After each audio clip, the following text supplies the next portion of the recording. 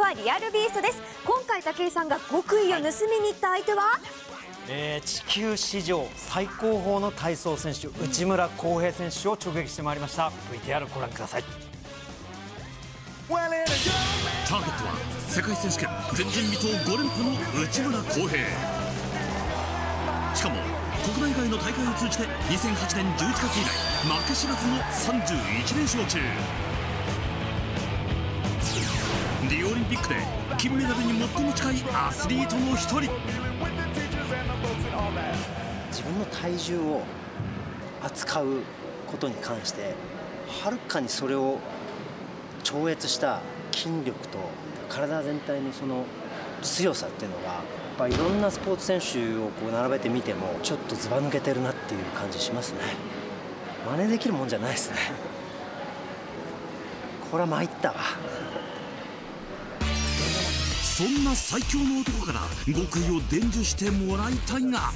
練習お疲れ様です。ちょっと見させていただいてたんですけど、はい、もうあれです。もうやめましょう。無理です。あれは無理です。できそうですけどね。いやだいぶ年月かかるでしょうね、はい、何かあのなんて言ったんです基礎って言いますか、はい、いいですか、はい、まずまずどうしましょうか？何何からしたらいいですか？そうですね、はい、逆立ち。あ逆立ち。体操の基本は逆立ちなんで、あ体操の基本倒立なんですか、倒立です、はい。これまでの武井の運動神経をもってすれば倒立はお手の物のはずだが。緊張します緊張するよそら。世界一だぞ。人類。70億人70億人って体操で誰も勝てないんだよこの人に。じゃあちょっと僭越ながら、はい、いいですか？はい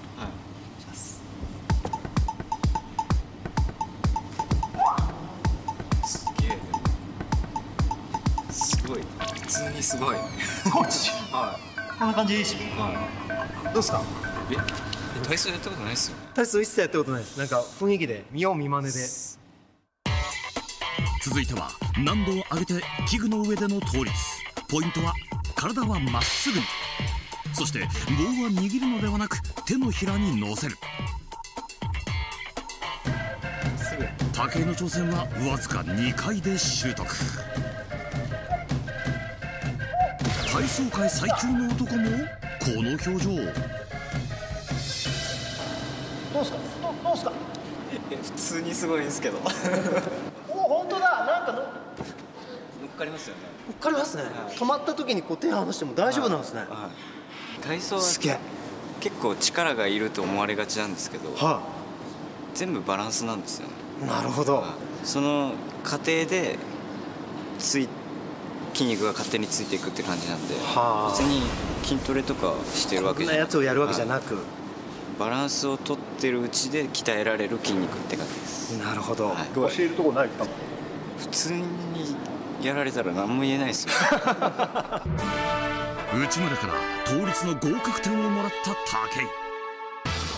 井。では実際の競技で使われる平行棒の上からの倒立ではどうなのか？まっすぐなるんでしょ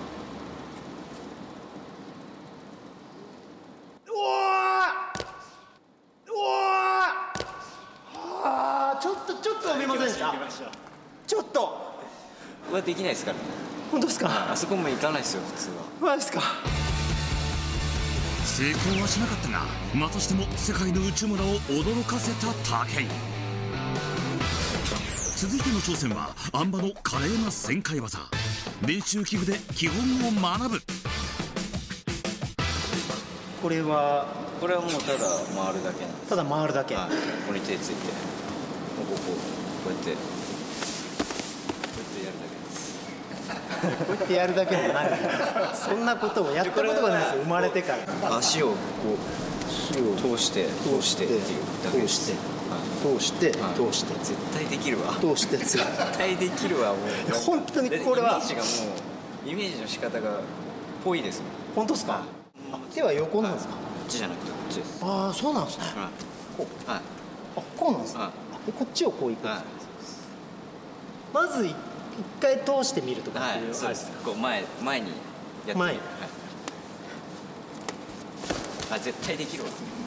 絶対できるわ。絶対できる。絶対できます。今の OK ですか、は絶対できるとか言うんですけど内村さん。こっちは必死なんですよ。膝と肘を曲げずに両足は揃える。これが旋回の極意としてこれ体前。回るだけ回るだけとか言うんだよ。回るだけじゃないよ。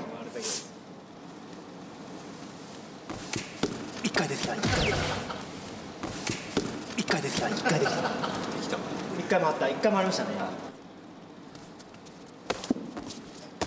おおお二回いった。二回いった。よ両手を長めってことですね、はい。この時間を。そうです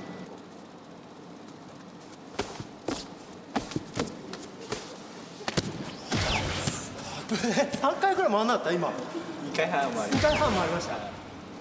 ちょっとちょっと近づきました。すごいです普通に。いやいやいやいや。全然お美しくないですよね。まあ綺麗ではないですけど できてます。マジっすか？はい。すごいね。なんか普通にできる人には教えてる感じがします。なんか初心者の人には教えてるって感じしないです。もんそうなんですか？なんか何でもできそうな感じが だからちょっと回れだからね。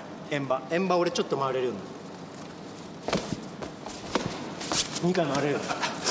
いやーなんか今までいろんなスポーツやってますけどこんなに手の届かない競技初めてですよ。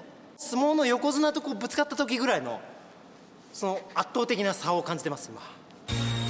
これまで数々のアスリートを驚かせてきた武井が感じた圧倒的な差。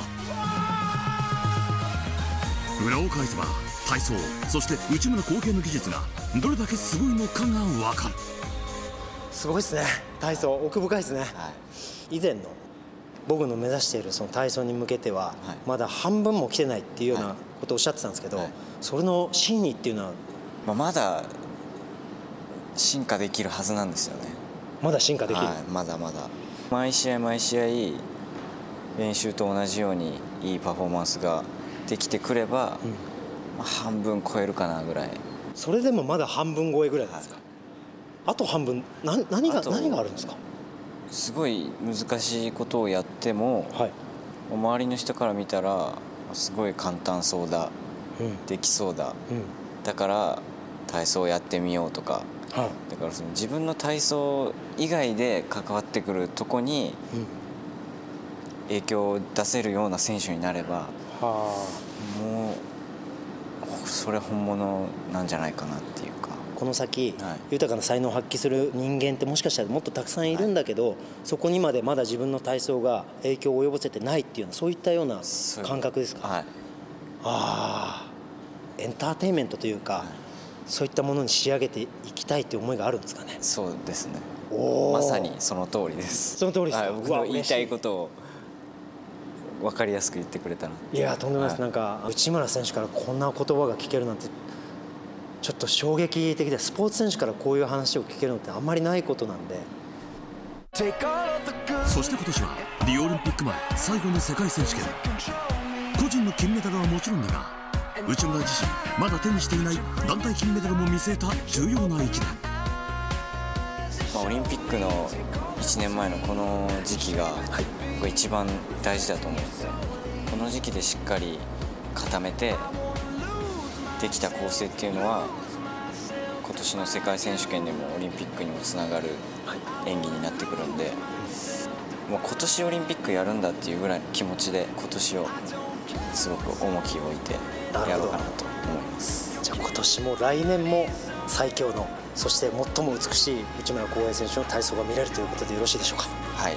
期待しててください。期待しかしてませんごいでしょ。はい、珍しく武井さんがちょっと弱気というか。なんかね、チョモランマを麓から見上げてる感じでしたね。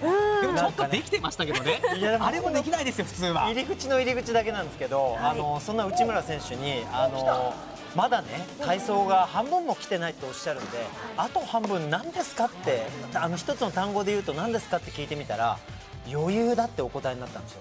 余裕がまだ足りないと余裕もっと余裕を大きくしないといけないと、でこれはあの例えば着地をするときにあのバッとこう止まってしまったとかあのギリギリで何とかしたっていうことよりももっと余裕を持って優雅に多く美しく降りるっていうことも含めての余裕だと思うんですよ。それは多分選手には当然伝わるし周り見てる人にも伝わるしでもその余裕は多分体操を知らない一般の人にもすごいものだって感じられるものになるんだと思うっていうふうにおっしゃるんですよね、だからその余裕があればさらに難易度の高い技にも挑戦できるしもっと体操を進化させられると、はい。そういうふうにおっしゃってたと思うんですけどね。これちょっとね。はい、王者がもっともっと進化していくとなると下がもっともっとっていう風になってやっぱ底上げにもつながりますしね。体操界全体が盛り上がりますよね。もっと高い山築いてくれると思います。はい。さらなる進化にも期待です。今年も世界王者から目が離せません